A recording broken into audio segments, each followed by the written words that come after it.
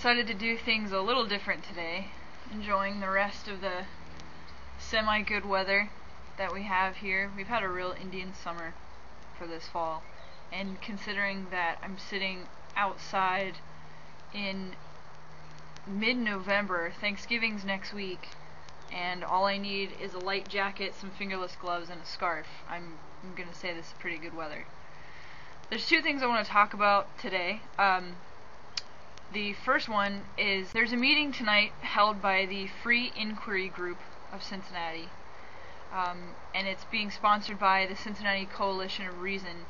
And the only little blurb that I saw about it in the paper was that they're going to be discussing the billboard that was up um, which I will have a link to the article in the sidebar, whichever the fuck way it is. I fuck that up every time, so you know where the sidebar is. I'm going to a meeting tonight to discuss this, and the whole reason that I'm going to this meeting is because I want to see if people are going, if, if people are planning to take action against this. There's no reason the billboard should have been moved. There was no reason that there should have been complaints about it, death threats especially. And I really want to see if people plan to do something about this, as they should. I don't necessarily like to go to atheist, uh, skeptical, secular meetings because they do become echo chambers, and sometimes that's nice just to have the validation that there's other people in your group that feel the same way. But um, overall, I don't feel that that's really conducive to what I'm trying to do.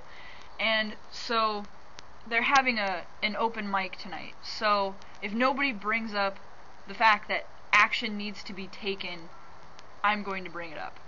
So uh, I will have the foresight to bring some sort of note-taking devices. Um, I would really like to record the meeting, but unfortunately I don't have a very good camera, and that really blows because I would I'd love to put that on YouTube. The second thing that I want to talk about is something that I've kind of been putting off talking about because uh, one, it makes me extremely angry, and so I feel like I would just get over emotional about it.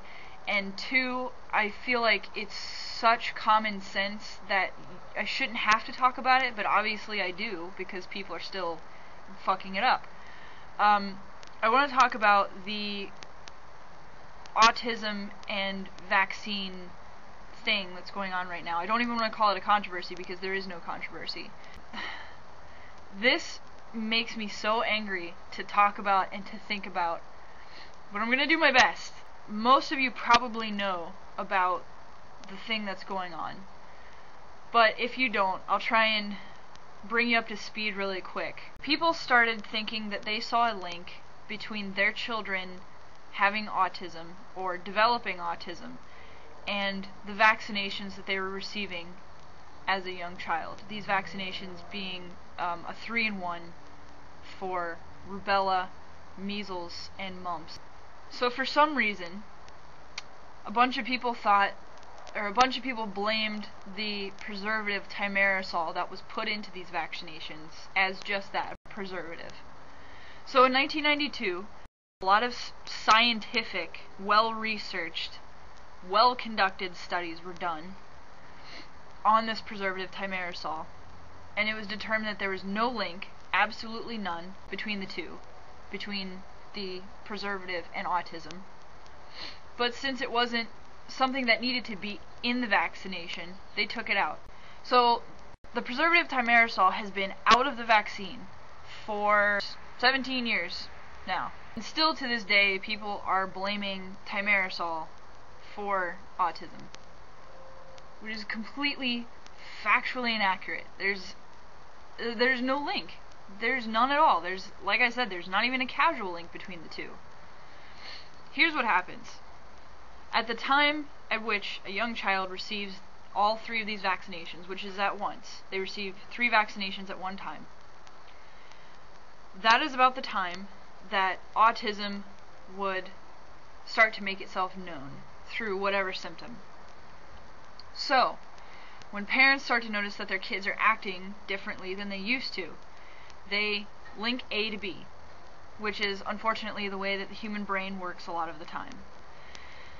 But because of this, they've linked autism to the fact that the child has received a vaccination coincidentally at the same time that autism starts to develop in the brain, or make itself known rather, becomes symptomatic.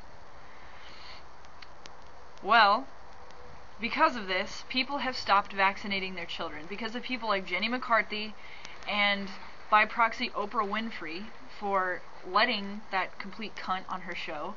All of these celebrities who very obviously have a good medical background. These people are become are coming public and saying because of getting the vaccination my child has become autistic, which is 100% untrue and impossible. It's not even implausible, it's just impossible. People have stopped vaccinating their children because Oprah Winfrey gets what? 4 million viewers? So that's a lot of women and men, I'm assuming, watching that show, taking something that Jenny McCarthy, who used to eat her own boogers on MTV, taking her seriously. And because people have stopped vaccinating their children, there's now outbreaks of things that were completely suppressed, such as measles, mumps, and rubella. Things that we haven't seen in decades are now becoming a problem, and that's ridiculous. That they should not be a problem. So this makes me angry because now kids are dying from diseases that are easily preventable. Easily preventable. Not only easily preventable, but I believe that in some parts of the United States they're even required by law before the kids start attending preschool or kindergarten or first grade, whatever. So, because of a few people's ignorance and unwilling to look into the actual research put behind all of these things that they hold to be true, kids are dying. And that is that's what makes me angry. So there's absolutely no reason that children should be dying because of poor decisions that their parents make when you're a parent, your responsibility to your child is to keep them 100% protected from all the things that could possibly endanger them, um, especially in a physical way. And vaccinating your child happens to be one of those things. So I just think it's absolutely ridiculous and selfish not to have your child vaccinated. You're relying on the health of the other children around them to keep them healthy. And there's no 100% guarantee for health. There never is. So it's just not fair in general. Really hope that this fad just phases itself out because when I have kids, um, I don't want this to be a concern for me. I plan on getting my children vaccinated, very obviously, but I don't want to think that there's other children in their class who are not vaccinated that could possibly endanger my child's life. We're in the year 2009 and kids are dying from measles, mumps, and rubella. Come the fuck on. Get over yourselves. Do a little research. It doesn't take much, trust me. And just do the right thing for your kid. It's not fucking hard. So that's my rant on that. I'll get back to you guys after the FIG meeting and let you know what happened, if anything. Cross your fingers that something's happened because I put a little more faith in uh, atheists, agnostics, and humanists to get things done when they're angry, especially. So let's hope everyone's good and riled up for this meeting.